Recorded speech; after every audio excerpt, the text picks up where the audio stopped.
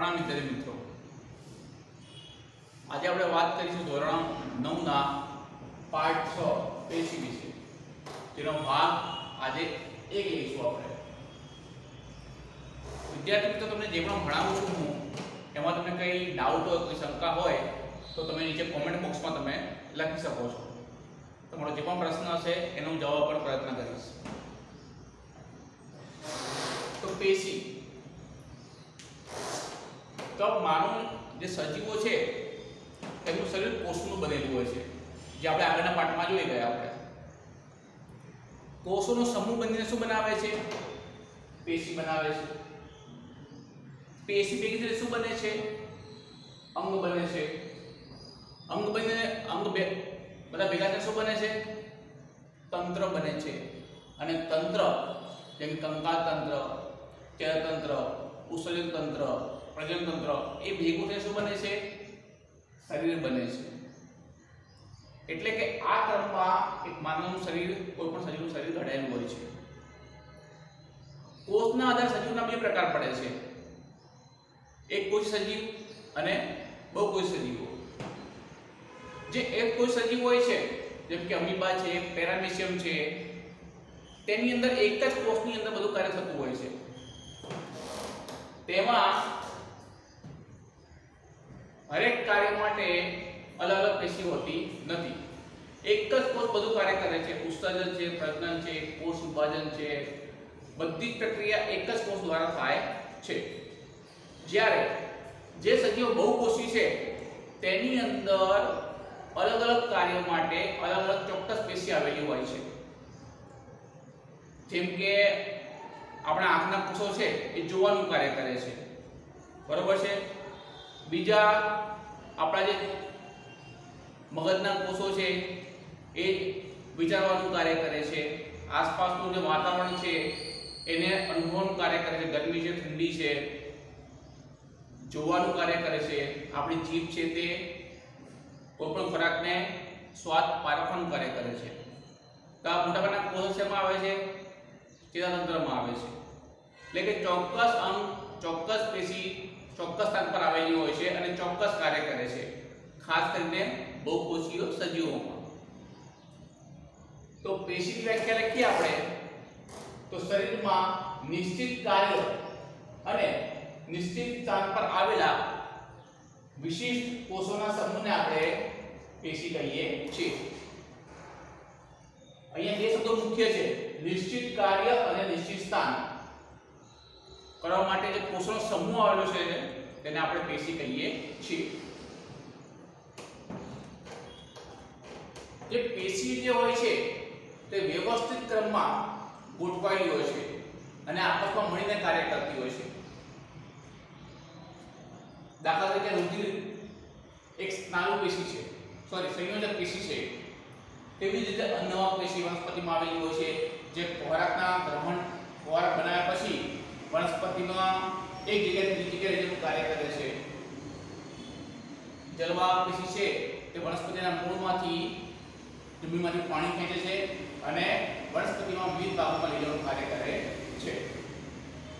આ ચોક્કસ કાર્ય માટે ચોક્કસ પેશી આવેલી હોય છે અને કોષોનો સમૂહ બનીને વ્યવસ્થિત ક્રમમાં ગોઠવાઈને ચોક્કસ કાર્ય કરતો હોય છે, જેને આપણે પેશી કહીએ છીએ. એમ વાત કરી આપણા વિદ્યાર્થી મિત્રો કે બહુકોષીય સજીવ જે હોય છે તેમાં શ્રમ વિભાજન થયેલું હોય છે. એટલે કે અલગ અલગ કાર્ય માટે અલગ અલગ પેશી આવેલી હોય છે. અલગ અલગ કાર્ય માટે અલગ અલગ તંત્ર આવેલું હોય છે. હવે પેશીના મુખ્ય બે પ્રકાર પડે છે. અગર જોવા જઈએ તો વનસ્પતિ પેશી અને પ્રાણી પેશી. આપણે અહીંયા વાત કરીશું આજે વનસ્પતિ પેશી જે વનસ્પતિ પેશી છે, તેની અંદર પહેલી પેશી છે વર્ધનશીલ પેશી. જે વર્ધનશીલ પેશી હોય છે, એના નામ પ્રમાણે શું કરે છે? વિકાસનું કાર્ય કરે છે, વૃદ્ધિનું કાર્ય કરે છે. વર્ધનશીલ પેશી એ નિશ્ચિત વિસ્તારો અને પ્રદેશોમાં આવી જોવા મળે છે. કેમ? કેમ કે તેનું કામ શું છે? વિકાસનું કાર્ય છે, વૃદ્ધિનું કાર્ય છે. એટલે ચોક્કસ તારમાં જોવા મળશે તેમને. તેની અંદર શું હોય છે? તો નવા કોષોનું નિર્માણ માટેના કોષો આવેલા હોય છે તેની અંદર. જે શું કરે છે? કન્ટિન્યુ સતત વજન પામે છે અને નવા કોષોનું સર્જન કરે છે અને તે ભાગની વૃદ્ધિ કરે છે. તો વર્ધન વર્ધનની પેશી જે હોય છે, તેનું સ્થાનના આધારે એટલે કે કયા પ્રદેશમાં આવી છે તેના આધારે તેના ત્રણ ભાગ પડે છે. અગ્રસ્ત વર્ધનશીલ પેશી જે આપણને ક્યાં જોવા મળે છે? મૂળ અને પ્રકાંડમાં. એટલે કે આપણે આપણે લઈએ આ પ્રકાંડ લઈએ તો આગળના ભાગમાં આપણને અગ્રસ્ત વર્ધનશીલ પેશી જોવા મળે છે. એ શું કરે છે? લંબાઈમાં વધારો કરે છે. એટલે કે પ્રકાંડ હોય, એની ટોચ પર તમને જોવા મળે છે. તેવી રીતે મૂળ હોય તો મૂળના નીચેના ભાગમાં એટલે કે ટોચ પર આપણને જોવા મળે છે અને ધીમે ધીમે મૂળ શું થાય છે, મોટું થાય છે. ત્યારબાદ બીજો ભાગ છે તેનો આંતરવિષ્ટ વર્ધનશીલ પેશી. આ પેશી આપણને વનસ્પતિના પર્ણોના તલદેશમાં જોવા મળે છે, જે વચ્ચેનો ભાગ હોય છે પર્ણનો તે આપણને જોવા મળે છે. અને જે શું થાય છે? વિકાસ પામે છે, તેમ તેમ પર્ણ મોટું થતું જાય છે. ડાળીઓ જે છે, વનસ્પતિઓની એમાં આપણને જોવા મળે છે આંતરવિષ્ટ વધુ પેશી હવે છેલ્લો ભાગ છે, એટલે કે ત્રીજો ભાગ છે પાર્શ્વીય વર્ધનશીલ પેશી પાર્શ્વીય વર્ધનશીલ પેશી આપણને ક્યાં જોવા મળે છે? તો મૂળ અને પ્રકાંડ. આ જે પેશી હતી એ ટોચમાં જોવા મળતી હતી. અને આ જે પેશી શું જોવા મળે છે? માની લો પ્રકાંડ છે આ. આ પ્રકાંડ છે, માની લો, તેના પરિવિસ્તારમાં જોવા મળે છે, પરિઘ વિસ્તારમાં. એટલે કે પેલા પ્રકાંડ નાનું હોય છે આટલું, પછી ધીમે ધીમે મોટું થાય છે પ્રકાંડ એટલે કે વૃદ્ધિ શું થાય છે? પાર્શ્વીય થાય છે પરિઘીય વિસ્તારમાં થાય છે. અને જે પ્રકાંડ પેલા પાવડું હોય છે, એ ધીમે ધીમે વધતું જાય છે. તો આ પ્રમાણે શું થાય છે? જે પ્રકાંડ હોય છે ડાળીઓ હોય છે, મૂળ હોય છે, તેનો વિસ્તાર વધતો જાય છે. તો આ ત્રણ મુખ્ય પ્રકાર છે વર્ધનશીલ પેશીના. જે કોના આધારે આપણે વિભાજિત કર્યા તેના સ્થાનના આધારે અગ્રસ આંતરવિષ્ટ અને પાર્શ્વીય. હવે આપણે જોઈએ કે જે વર્ધનશીલ પેશીના કોષો કેવા હોય છે, એની લાક્ષણિકતા કેવી હોવી જોઈએ? તો જે વર્ધનશીલ પેશી છે, તેના કોષો કેવા છે? ખૂબ જ સક્રિય કોષો છે, એટલે કે એક્ટિવ છે. ખૂબ જ સક્રિય કોષો હોવાથી શું થાય છે? તેનું સતત કોષ વિભાજન થાય છે. એટલે કે એક કોષ હોય, તેમાંથી બે કોષ બને, પછી ચાર કોષ બને, પછી આઠ, તે ધીમે ધીમે વધતા જાય. અને તેના કારણે શું થાય છે? પછી કોષ વિભાજનના કારણે એ એ ભાગ હોય છે, એ ધીમે ધીમે વૃદ્ધિ પામે છે. એટલે કે વિકાસ પામે છે. એટલે કે વર્ણિલ પેશીના કોષો કેવા હોય છે? ખૂબ જ સક્રિય હોય છે. આ છે કોષો છે તેનો કોષરસ કોષરસ પણ કહીશું. જે કોષ આવેલો હોય છે, એની અંદર જે પ્રવાહી હોય છે, એને આપણે શું કહીશું? કોષરસ કહીશું. એને જીવરસ પણ કહેવામાં આવે છે, જે આપણે આગળના પાઠમાં જોઈ ગયા. તો આ જે કોષરસ છે, એ કેવું છે? ઘટ્ટ પ્રવાહી છે.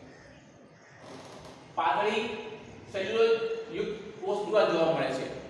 અહીંયા આપણે કીધું જે કોષરસ હોય છે એટલે કેવું છે ઘટ્ટ હોય છે. કેમ? કેમ કે જો કોષરસ હોય, આપણને ખબર છે કે આવા કોષો કેવા હોય છે, સક્રિય હોય છે અને તેમનું વિભાજન થાય છે. તો એકમાંથી બે બને છે, બેમાંથી ચાર બને છે. જો આનો કોષરસ પાતળો હોય, એટલે ઘટ્ટ ના હોય, તો શું થાય છે કે ધીમે ધીમે એની જે ઘટતા છે ઘટ એ ઘટતું જાય છે. અને કોષ બનવાની જે પ્રક્રિયા છે અટકી જાય છે. તે માટેનો કોષ કેવો હોય છે? ખૂબ જ ઘટ્ટ હોય છે. એટલે કે એકમાંથી બે બને તો વાંધો આવતો નથી. એના પછી આપણને ખબર છે કે જે કોષ દિવાલ છે, આપણને ફક્ત વનસ્પતિ કોષમાં જોવા મળે છે. અને બીજા શેમાં જોવા મળે છે? ફૂગ અને બેક્ટેરિયામાં જોવા મળે છે. એના સિવાય કોષ દિવાલ ક્યાંય જોવા મળતી નથી. પ્રાણી કોષની અંદર કોષ દિવાલ જોવા મળતી નથી. તો આ જે કોષ દિવાલ હોય છે એ બનેલી હોય છે, સેલ્યુલોઝની બનેલી હોય છે, જે કાર્બોદિત પદાર્થ છે. તો આ જે દિવાલ છે, એ સેલ્યુલોઝની બનેલી હોય છે. અને કેવી હોય છે, પાતળી હોય છે. જો જાડી હોય, તો કોષ વિભાજન થાય નહીં. થાય પણ તો શું થાય? એને ખૂબ જ પરિશ્રમ કરવો પડે. એમાં વધારે ઊર્જા લાગી જાય. એ માટેની જે કોષ કેવી હોય છે પાતળી જોવા મળે છે. તેના કારણે તેનું કોષ વિભાજન ઝડપથી થાય છે. એની અંદર જે કોષ કેન્દ્ર હોય છે, વનસ્પતિના અંદર કોષ કેન્દ્ર જોવા મળે છે, એની અંદર આપણને ડીએનએ જોવા મળે છે. બરોબર ને? ડીએનએ એટલે શું?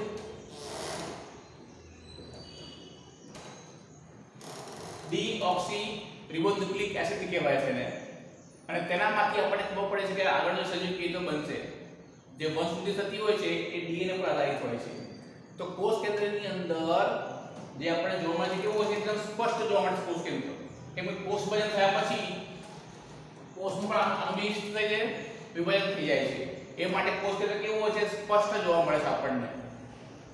ત્યારબાદ તેની અંદર રસધાનીઓ જોવા મળતી નથી. એટલે કે રસધાની કેવી હોય છે? ફુગ્ગા રચના જોવા મળે છે.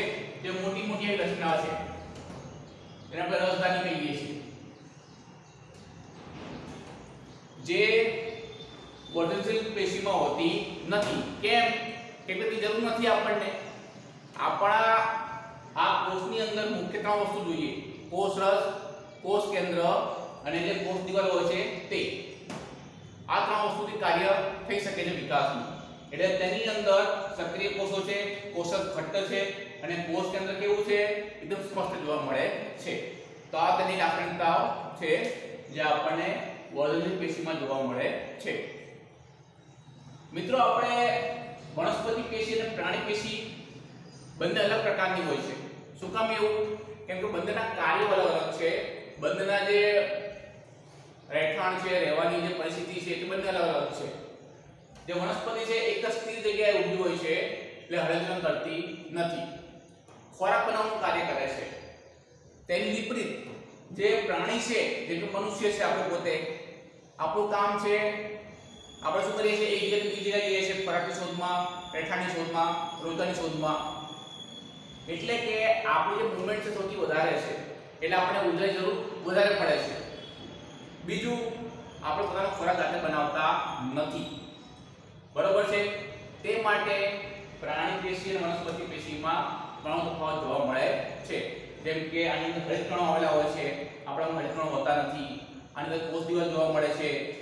જે ઘણી વખત કેવા હોય છે, મૃત કોષની બનેલી હોય છે. જેમાં આપણામાં કોષ દિવાલ જોવા મળતી નથી. બરોબર છે? તો કહેવાનો શું છે કે પ્રાણી પેશી અને વનસ્પતિના કાર્યો અને તેનો વિકાસ અલગ અલગ પ્રમાણે થતો હોય છે. તે માટે પ્રાણી પેશી અને વનસ્પતિ પેશી અલગ અલગ જોવા મળે છે. વનસ્પતિ પેશીના અમુક જે હોય છે, તે જીવન પર્યંત, એટલે કે આજીવન કેવા છે? વિકાસશીલ હોય છે. તેની અંદર આપણને વર્ધનશીલ પેશી જોવા મળે છે. જ્યારે પ્રાણી પેશી જે છે, મનુષ્યનો અમુક ઉંમર અમુક ઉંમર થાય છે, પછી તેનો વિકાસ અટકી જાય છે. એટલે કે આ પ્રકારના આપણા ગુણ જોવા મળતા નથી. જે મનુષ્ય છે, તેની ઊંચાઈ છે, તેનું શરીર છે, એ અમુક ઉંમર સુધી વધે છે. એટલે કે વિકાસ પામે છે. પછી પામતું નથી. જેમ કે આપણી હાઈટ છે, એ હાઈટ અમુક ઉંમર સુધી વધે છે, પછી અટકી જાય છે. એટલે કહેવાનો અર્થ મારો અહીંયા એટલો જ છે કે વનસ્પતિ અને પ્રાણી પેશી બંને અલગ અલગ જોવા મળે છે.